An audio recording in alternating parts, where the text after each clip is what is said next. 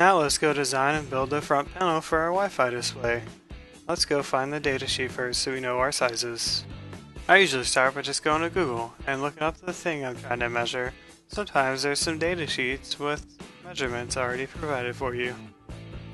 Now we found our image, and we can see that it lists a whole bunch of different dimensions. We need the ones for the outer edge of the LCD screen itself and the screw holes.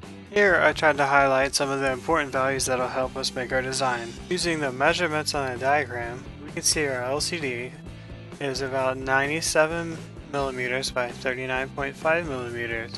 The screen itself is a little smaller, but the hole will need to be at least this big. The tolerances are listed, but we should include some extra. We can also see the screw holes are about 3 millimeters in diameter and the placement relative to the center line of the LCD.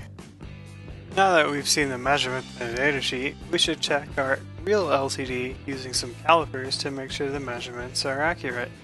We don't want to accidentally be using the datasheet for someone else's LCD you can see that the measurement of the screw holes is pretty close. I was looking at around 3 millimeters depending on when I measured. Now we need to measure the outer bezel of the LCD to make sure our hole is going to be the right size. Now let's set our page to be in millimeters, just like the datasheet and our other measurements. Now let's use the rectangle tool to draw a rectangle the size of the PCB. This shape should be 98 by 60 millimeters, we can use the boxes at the top to type in these measurements. Since this will be laser cut, we need to make sure that the fill is disabled and the lines are set to a very thin width. In Inkscape, after you're changing your line width, make sure that you double check the size of your shape. Sometimes it will change. Now let's add the outline of the LCD. This rectangle should be 93 by 39.5 millimeters. We can see this in the datasheet and verify it with our calipers if we want. Now we can select both of our shapes and use Inkscape's Align and Distribute tab in order to center them on each other. Now we can use the Circle tool to draw the circles for the screw holes. We'll make these 3.3 millimeters in diameter. Remember to set your line widths, double check the size, and set the fill.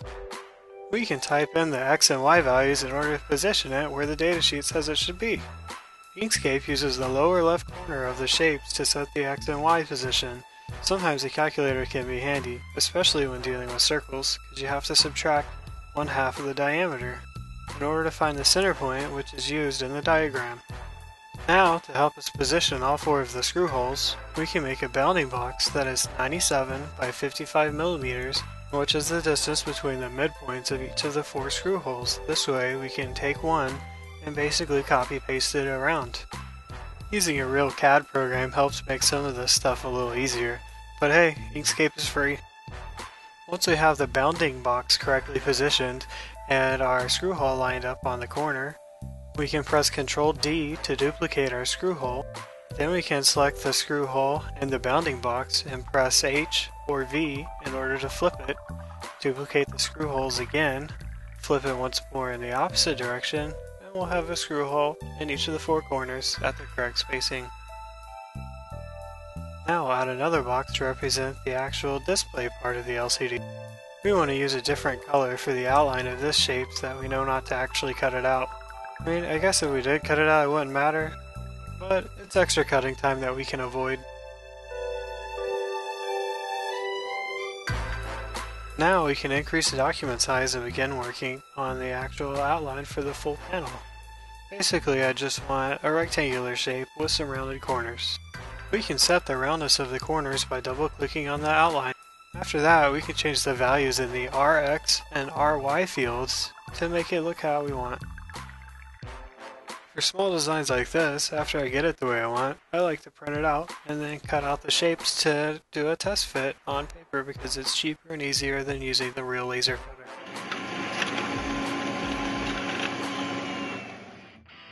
So we've printed out our laser cut sketch to verify the sizing. So we have our paper and we can just lay our little screen on top and kind of see, hey, these are a little realistic. Is actually line up everything and cut it out as a test fit.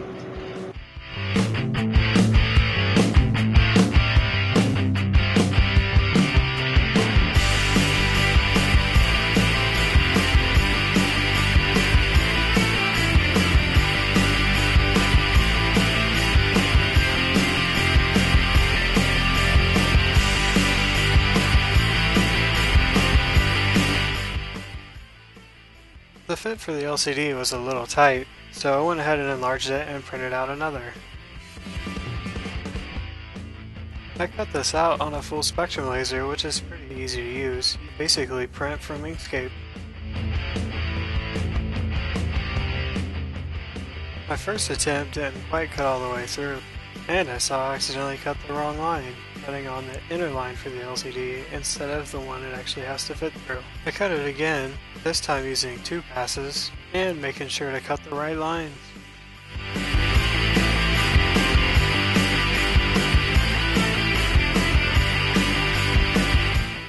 The panel looked a little small, so I made a bigger design and then cut it out again. I used a Dremel to cut out a groove in the back. This will hold the LCD pin so it will sit flush.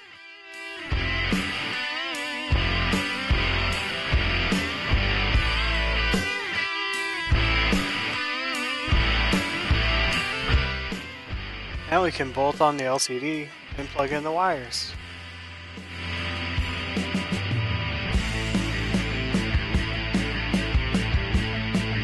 After getting it together the first time, I decided to take it back apart and use longer bolts. This would let me use one of my scrap cuttings on the back as kind of a standoff from the wall to help it sit flatter. I was able to stain the wood and then glue down the Wemos board.